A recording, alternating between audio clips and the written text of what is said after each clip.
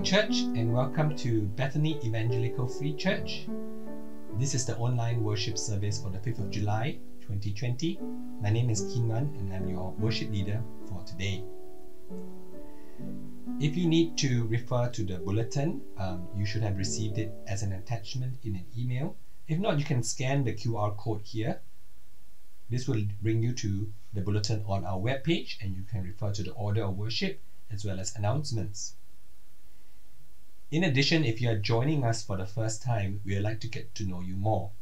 So please uh, scan this QR code that will bring you to a link and leave your details there, and someone will get in touch with you after this service. Now let us uh, prepare for the worship service. Shall we pray together?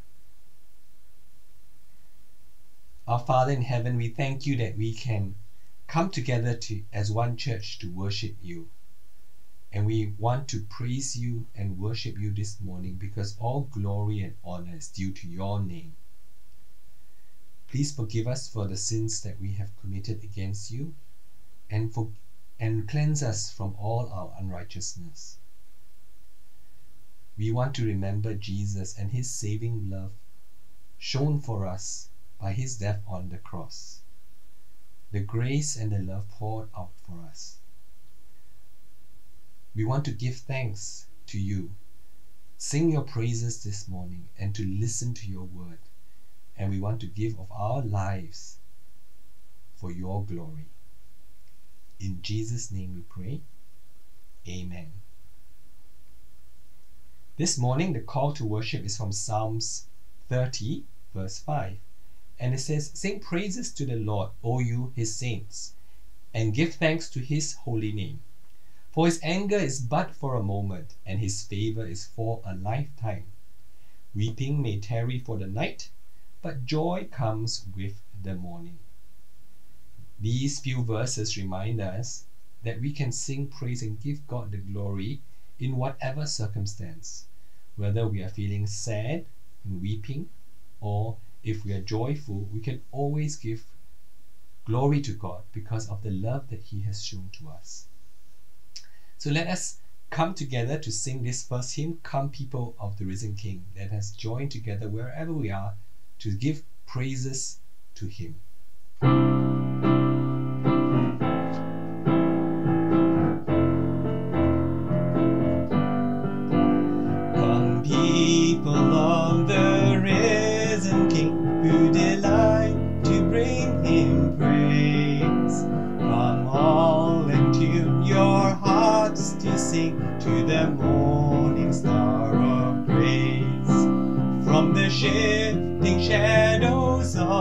Earth,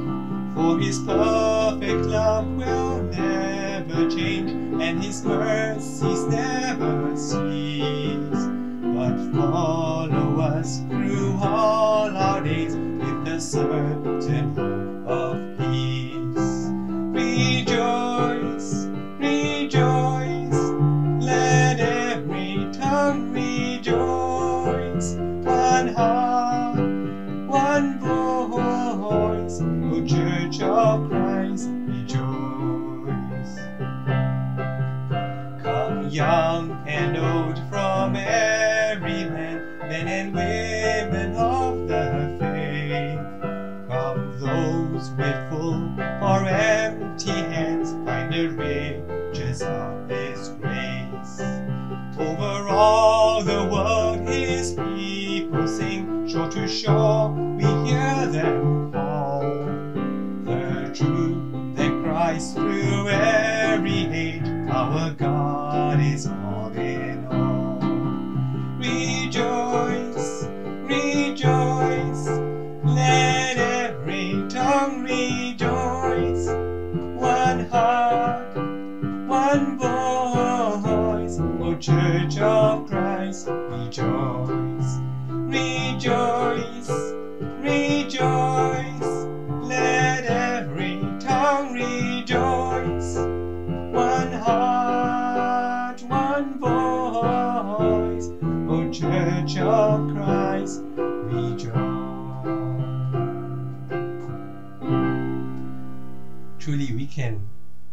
rejoice because God loves us, and this verse from Romans 8 reminds us of God's love.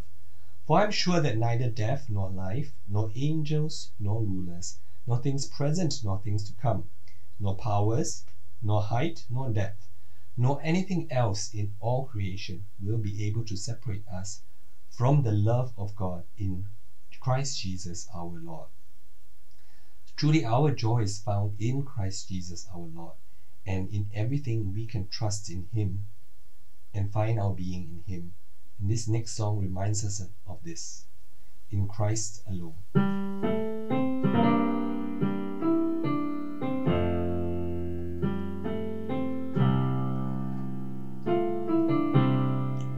In Christ alone, my hope is found. He is my light, my strength, This cornerstone is solid ground, firm through the fiercest drought and storm. What heights of love, what depths of peace, what fears are still and striving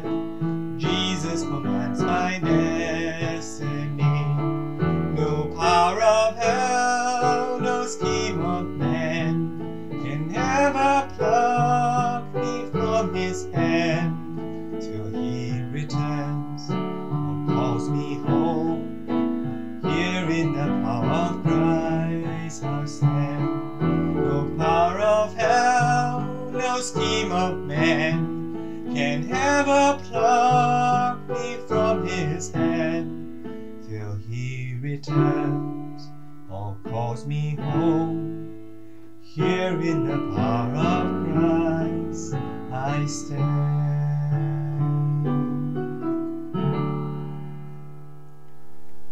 Let us continue to remember what Jesus has done on the cross of us as we prepare for the Holy Communion.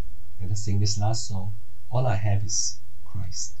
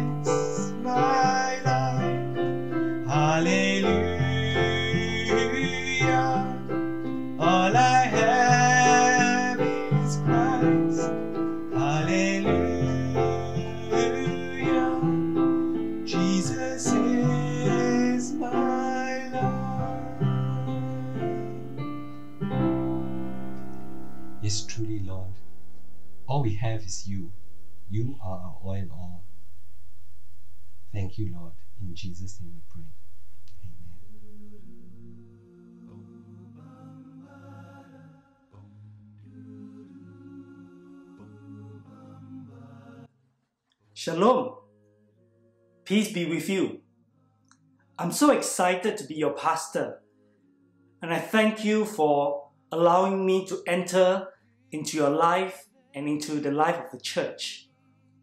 There are many things that the Lord wants to do in Bethany. And my prayer is that we will be sensitive to His still small voice speaking to us. That we will not walk ahead of God, but we will always depend on Him. My prayer is that I will be able to get to know you better, not only just to know you, but also to journey together with you, to see God's faithfulness in your life, and to see His goodness and His grace in your life. We serve a living God, and we love Jesus. And by the power of the Holy Spirit, we will collectively together join our hearts to worship Him in spirit and in truth at Bethany. There is a verse that keeps coming to me over the last few months as I'm preparing to come into this office. The verse is taken from John chapter 10, verse 27. John 10 27 tells us, as Jesus was telling his disciples this, My sheep hears my voice. I know them, and they follow me. My prayer is that as I hear the great shepherd's voice, I will pray that you will also hear my voice as I hear his voice. and I will get to know you just as I pray that Jesus will know me, and He does. And we will together follow after His voice. I'm excited, like I said, to get to know you better, to allow me to enter into your life, and allow me to love you as Christ loved His church. So, over the next few months, you'll be getting calls from me, and perhaps even a surprise visit, and certainly lots of text messages. But I want to assure you of this that in spite of this pandemic, this unprecedented time, that God is still sovereign, that He is still in control, and He loves us very, very much. And I want you to know that the church, together with the board, is really trying our best to mitigate against these issues that is brought up by the pandemic. And I pray for your understanding and your patience as we navigate through these uncertain times. But knowing that God's word is certain, His ways are unchanging. So I'm excited. I'm excited to come on board and thank you for allowing me to be part of this family. Together with my wife Wendy, we look forward to spending time with you.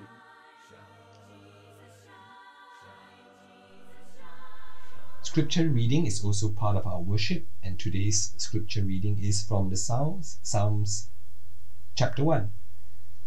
Blessed is the man who walks not in the counsel of the wicked, nor stands in the way of sinners, nor sits in the seat of scoffers. But his delight is in the law of the Lord, and on his law he meditates day and night. He is like a tree planted by streams of water that yields its fruit in its season, and its leaf does not wither. In all he does, he prospers. The wicked are not so, but are like chaff that the wind drives away. Therefore, the wicked will not stand in the judgment, nor sinners in the congregation of the righteous. For the Lord knows the way of the righteous, but the way of the wicked will perish. This is the word of God. Now let us uh, worship God with our offerings, and following which we will sing the doxology. Bringing an offering is a part of our worship, and you can do so in two ways. You can send a direct bank transfer. You can refer to the focus, the bulletin, for our church bank account details. Or you can also use this QR code which is on this slide please open your mobile banking apps and you can scan the code and this will uh, bring you to a page which will allow you to make and transfer. So we'll just uh, spend a few minutes right now to allow you to do so.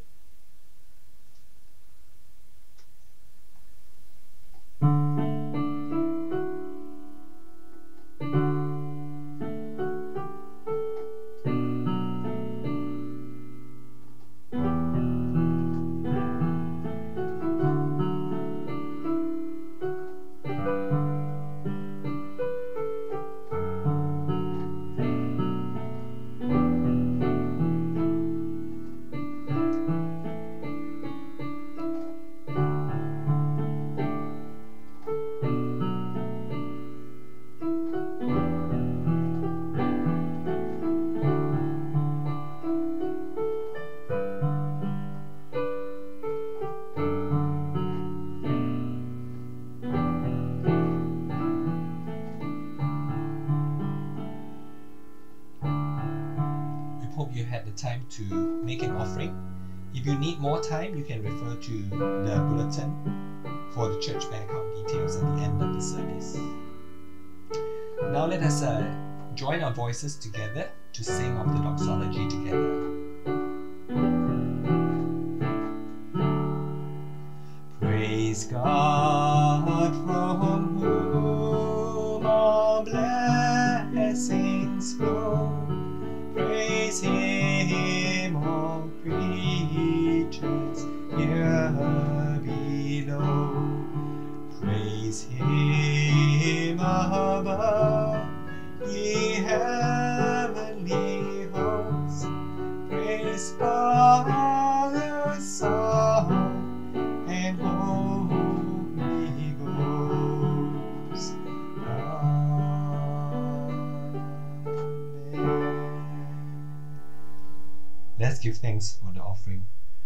Father, we just thank you, Lord, that we can give a small portion, Lord, of all they've given to us back to you.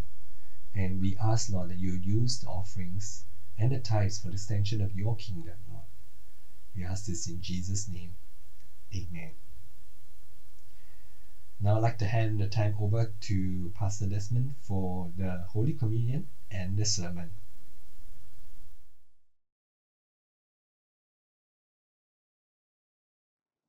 As we come to the Lord's table, may I remind all of us that this is a holy event.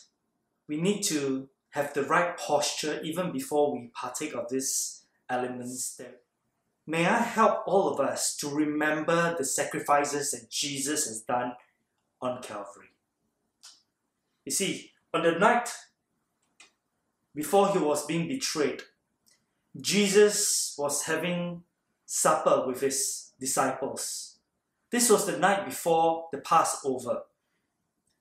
And Jesus said to his disciples, as he took the bread on his hands, and he said this This is my body, which is for you. Take it in remembrance of me. Jesus' body, which was broken for you and I,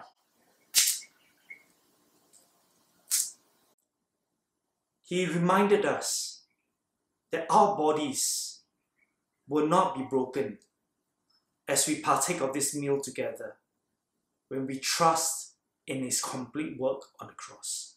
Would you join with me together to remember him and his sacrifice?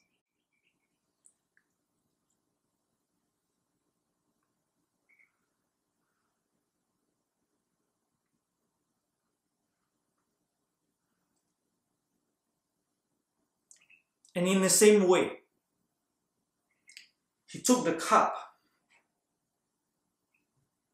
and when he had given thanks, he said that this cup is the new covenant made in my blood. Drink of it in remembrance of me. Jesus' blood was shed on Calvary.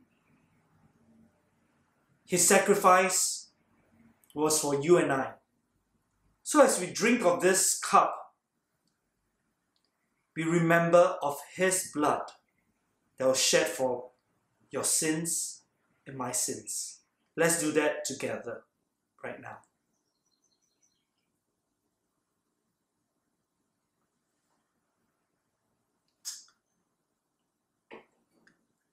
Let us pray. Father God, we come before you to thank you, Father God, that we are not people without hope. We thank you that we can come together in this way, even though we may not be physically together. Yet, Lord, you've allowed this act of sacrifice, remembering Jesus' sacrifice, to join our hearts together, to remember what he has done. As his body was broken for us, and as his blood was poured out as a living sacrifice for us. Help us, Father God, to live our lives worthy of this sacrifice. We pray all these things in Jesus' precious name. Amen.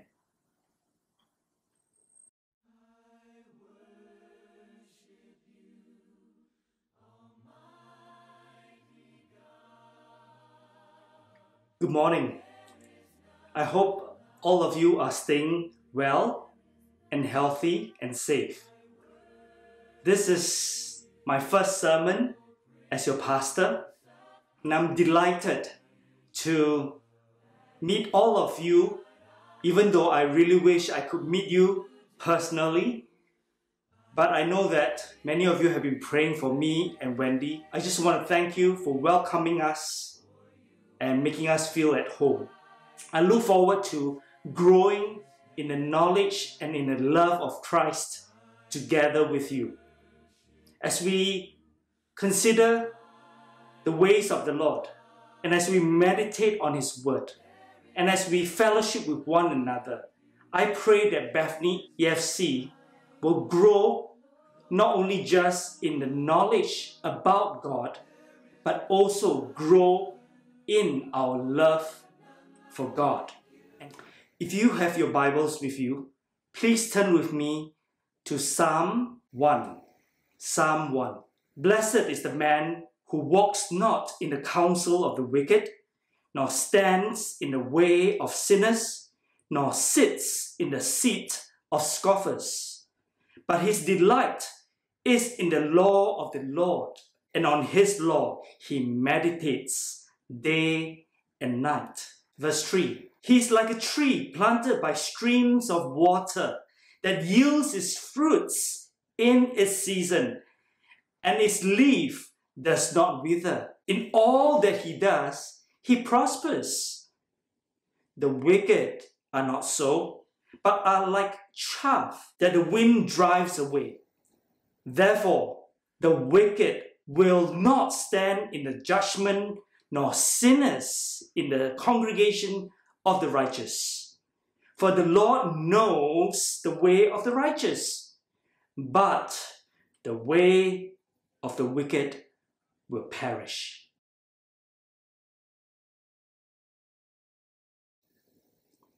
Today, we are beginning a series on the book of Psalms. The Psalter is really a collection of songs sung by the people of Israel.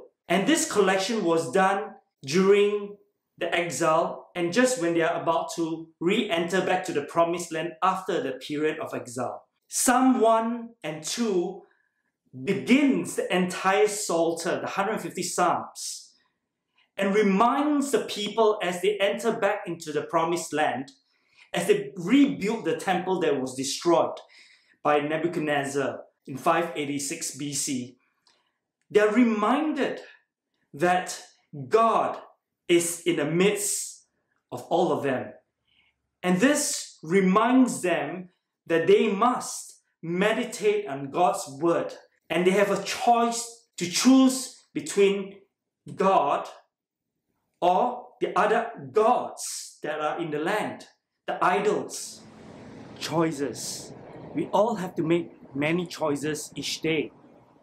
We are right now in election time, the time where we have to make important choices as to who to govern Singapore for the next five years. As I look around me and as I go around, I realize that there are many posters and many parties that I can choose. For some of us, we will have very easy choices. But in some wards, in some constituencies, this choice may not be so easy. And as I was thinking about what kind of choices that I have to make come July the 10th, I can't help but think about the future because the choices that I make will affect the future of my family and my country. And this is where my patriotic feelings resurfaced. We, the citizens of Singapore, pledge ourselves as one united people, regardless of race, language, or religion, to build a democratic society based on justice and equality so as to achieve happiness, prosperity, and progress for our nation. Now, there is one particular word that caught my attention so as to achieve happiness. Happiness is something that we pursue. Many people spend a lot of time to pursue happiness. And happiness is a matter of choice. The decisions that we make will affect our future, our pathways. And today, as we consider about the choices that we make, I can't help but think about those choices affecting my future and my happiness. Psalm 1 begins also with the word happy. In fact, the word blessed is the same as the word happy. So, therefore, it begins by saying, Blessed or happy is the man who walks not in the counsel of the wicked, nor stands in the way of sinners, nor sits in the seat of scoffers.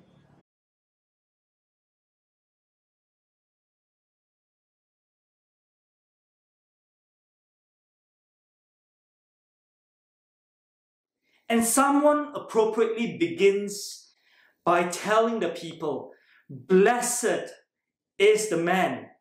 I want us to see that there are really two groups of people. There are two groups of people, and there's a comparison between these two groups of people. And I also want us to see that there are two pathways that you and I must choose. And as a result of choosing those two different pathways, we will face a consequence. Not only is there a comparison, but now there's a consequence. And the psalm will end off with a conclusion.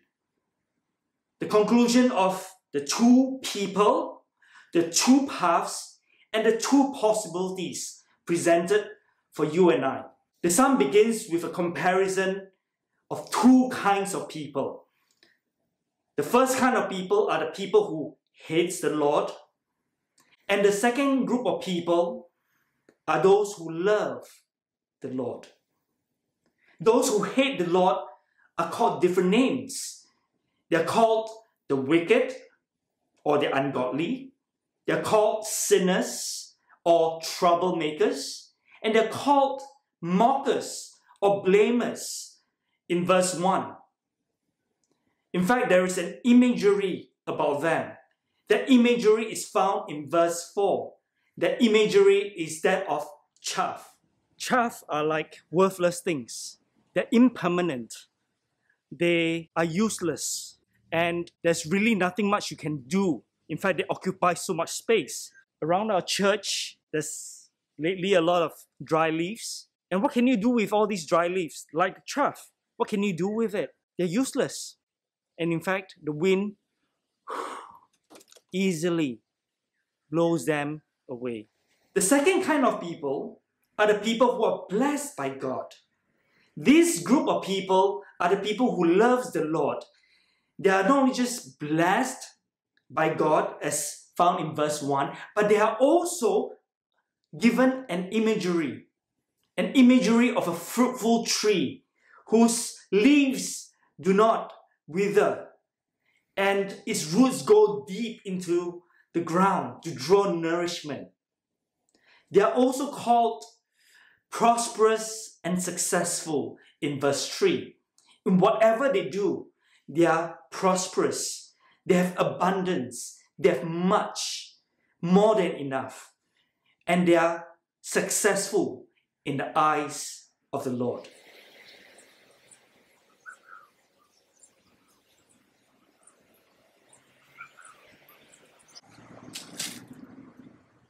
a tree gets its nourishment from its roots as well as from the sun. And in today's psalm, we know that if we follow after God's ways, if we dig our roots deep into God's word, we will be like a tree planted by streams of living water that will bear much fruit in due season. How fruitful we are depends on how deep our roots are.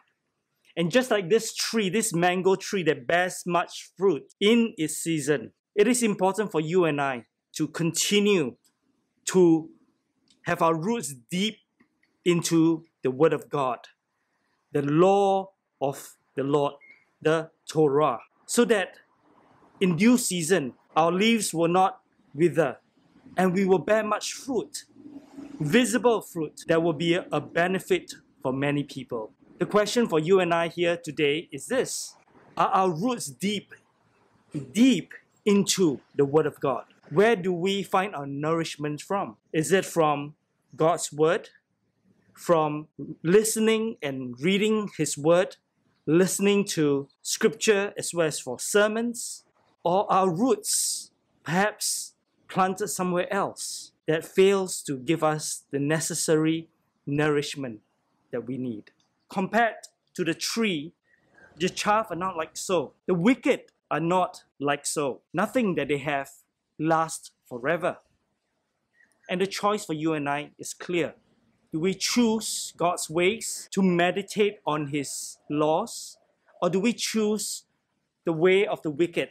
And in fact, our result is the wind will blow everything away.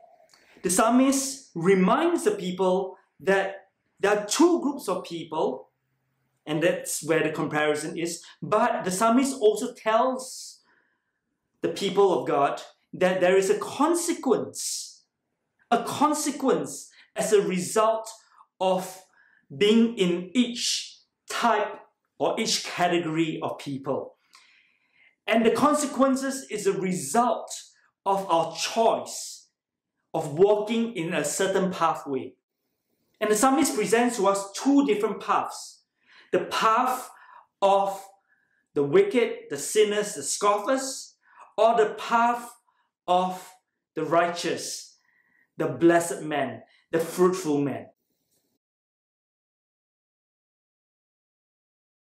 These people are not only just failing in their lives, they are useless, they are also indicted. That means they cannot be in the assembly of the righteous. And finally, there are people who will be ashamed because these people, the way of the wicked, verse 6b tells us, will perish. They will end up being punished by God one day, someday. So that is the failed life. But the psalmist didn't just paint for us a negative picture. The psalmist also gives us a positive picture. Throughout this entire psalm, you realize that there are positives and that there are negatives. And in this case, the psalmist reminds us that there is also another pathway that we can choose the pathway of a fruitful life as compared to a failed life. As the Lord watches over his ways, he will be rescued. The, the idea of God watching is the idea of God protecting him. So the psalmist presents to us two pathways, two paths the failed life or the fruitful life. And indirectly calling the people of God to make a choice. Do you want to be fruitful or do you want to fail in life? Do you want to be blessed or do you want to be ashamed when judgment comes? At this juncture, I would like to share with us what the psalmist has introduced in this psalm. The question that we need to ask ourselves is how do we fall? How do we fail in life? Nobody wants to be the wicked, the scoffers, the sinners. Nobody wants to choose a pathway that leads to destruction, right? But yet, we need to understand that the psalmist is suggesting to us you and I fail not because we choose to fail, but because we fall into bad company. Notice in verse 1 that there is a pathway. He walks, then he stands, then he finally sits. So this, this person did not fail because he chose to fail, but because he made choices along the way First, he was still walking and he begins to make certain decisions with the ungodly as he journey on in life. And finally, the ungodly, the wicked, got his attention, so he begins to stand in their presence and he begins to partner with these troublemakers. And after a while, he grew so immune to unholiness, immune to even the ways of the Lord, that he forgotten that these people are leading him on a pathway of destruction. So as he walks, he begins to stand, and after a while, he gets so comfortable that he begins to sit. The idea of sitting is the idea of having fellowship, of intimacy with someone. And so he begins to identify himself with the cynical people, the scoffers, those who blame everything except to reflect on themselves where they've gone wrong. And so the psalmist reminds us that we do not fail because we choose to fail, but we fail because we fall into bad company. We fail and we fall not because we are careless. We fall because we are in bad company. What should we do then? How should you and I live our lives? There is a defensive response, and then there's an offensive response. The defensive response is the man who is aware of the dangers around him. The defensive response is the man who knows who are the wicked, who are the sinners, and who are the scoffers. And he chooses not their paths. He chooses not to fraternize, to befriend them. And he keeps them at an arm's length. My suggestion to you is this look around you. Are you able to identify the wicked, the sinners, and the mockers amongst you in your circle of people that you work with? May I suggest to you, don't just simply say, oh, that guy is evil, that guy is bad, he's not a follower of God, and I avoid them. My suggestion to you is to go the extra mile, and that is to pray for these people. Would you consider praying for them and also guarding yourself against having too close a relationship with them and in their own ways. The second thing, the second suggestion I have for you is to avoid the activities at all costs. In fact, Paul tells his disciple, his child, Timothy, he says, flee from temptation in 2 Timothy chapter 2 verse 22. We need to avoid them at all costs. Whatever that they're doing may be very tempting for you and I. And we need to be aware and to flee from these people. The third suggestion I have for you is do not be alone. Do not be alone because that is where you will be tempted when nobody is looking, when you're surfing the net, when you're in a hotel room on a business trip. Be careful. Make sure that you have accountability partners. Make sure that your wife, your spouse knows exactly where you are and can call you at any one time. Be sure that you are never alone in dealing with temptations. Now, that is a defensive response. What about the offensive response? What are some of the proactive things that you and I could do in order for us to not walk in the way of the wicked nor sinners? Well, the offensive response is found in verse 2. Notice here that the psalmist says, His delight is in the law of the Lord. And on His law, he meditates day and night. My suggestion to you is this meditate on God's word day and night. Think about God's word. Pray through God's word. Join a small group to study God's Word. Fill your surrounding with Christian music, for example, if you can. Memorize scripture. That is something that you can do, an offensive response to a world that is steeped with carnality and temptation.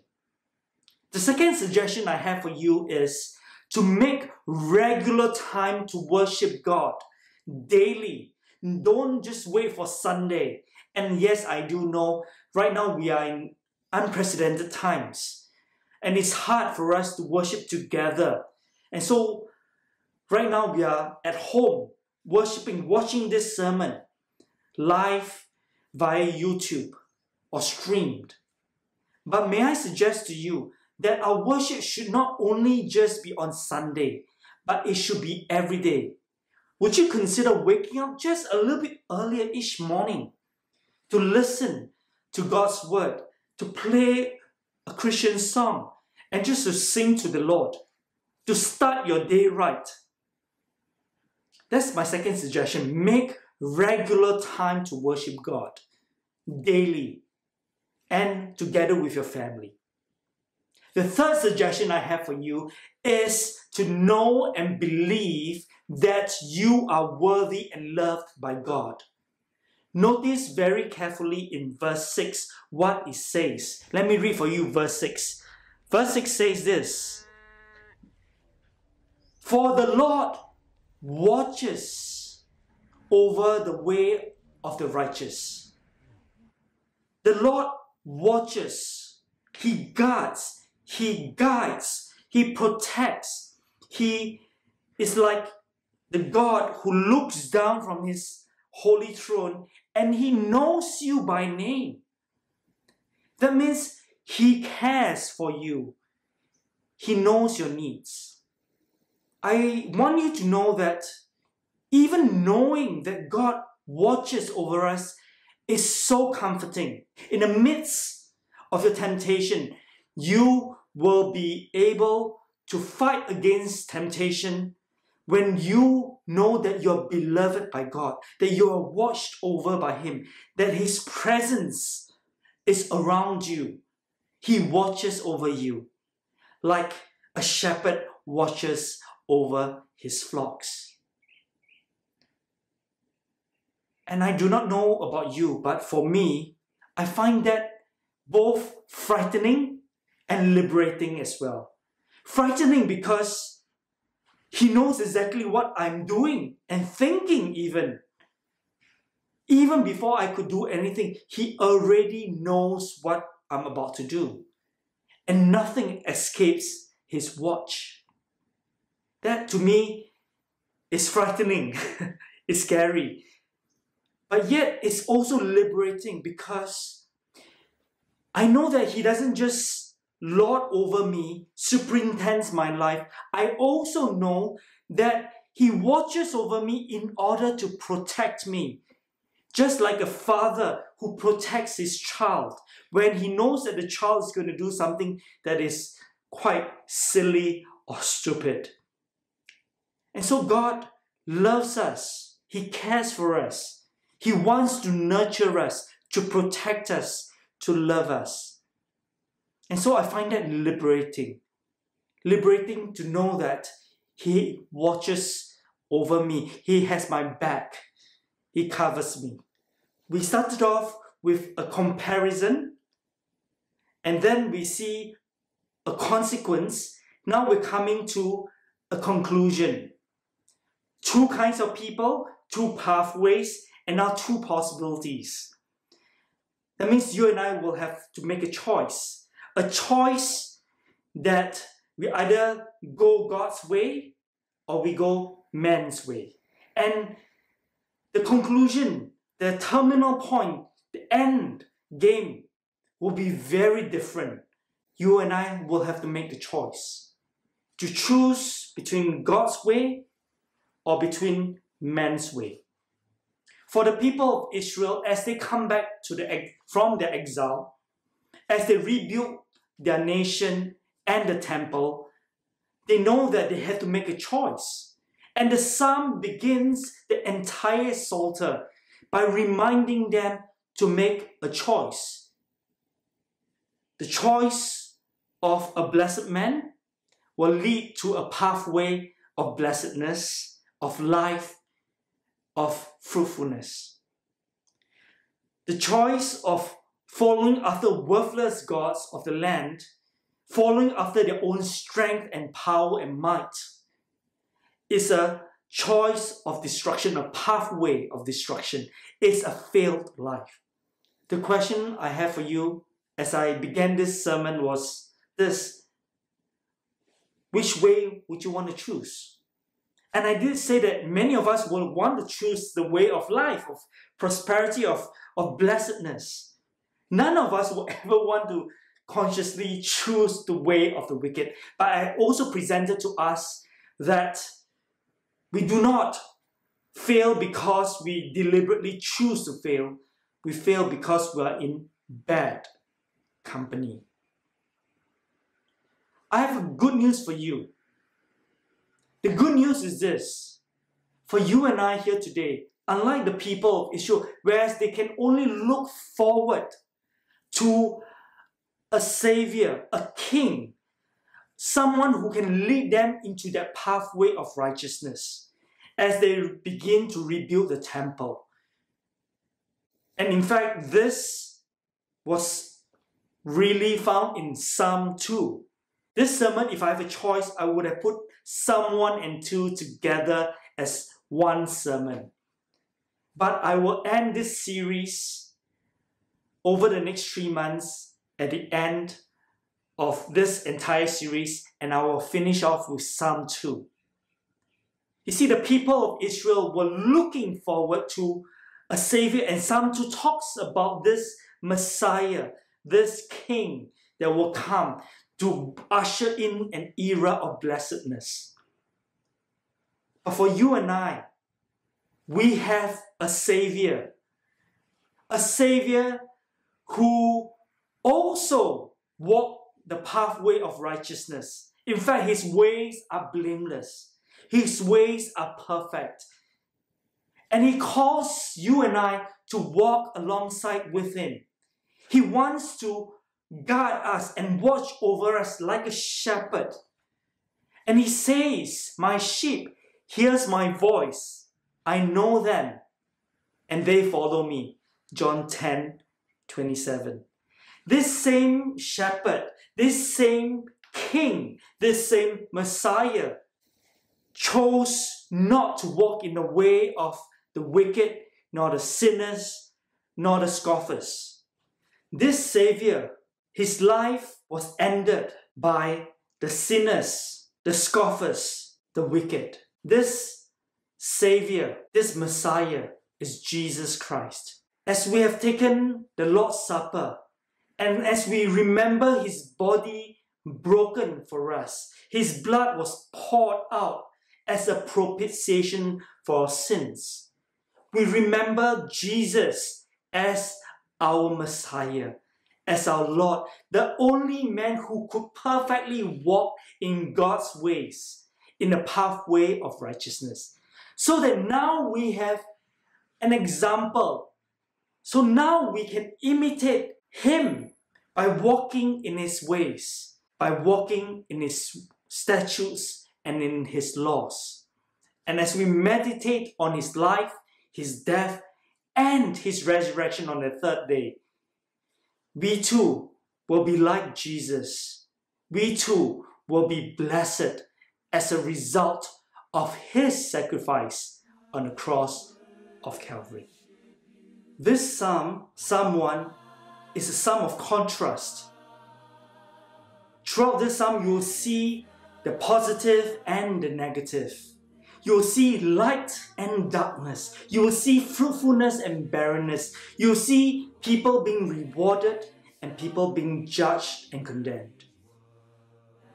And in many ways, we are also given this contrast and a choice to choose between righteousness and the pathway of life or wickedness and the pathway of destruction. The choice is yours.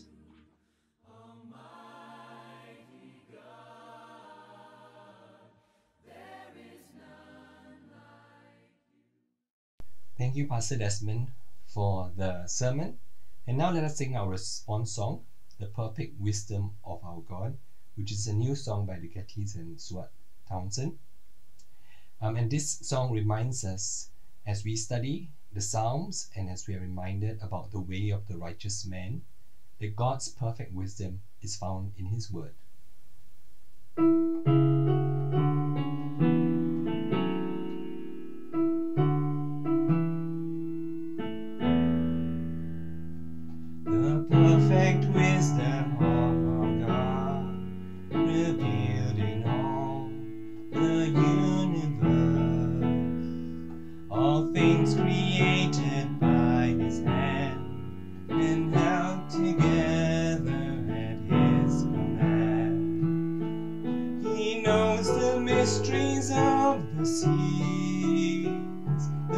Secrets of the stars are His. He guides the planets on their way and turns the earth through another day. Sing the first verse together again. The perfect wisdom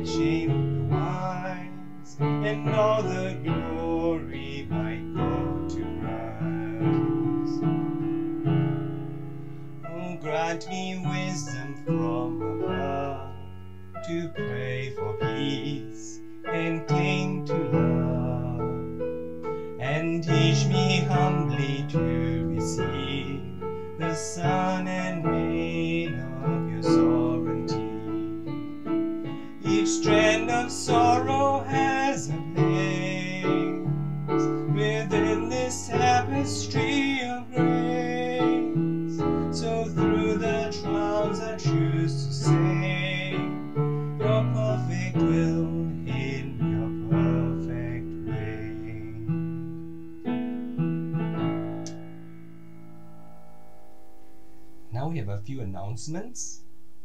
Please uh, read through the next few slides for the announcements.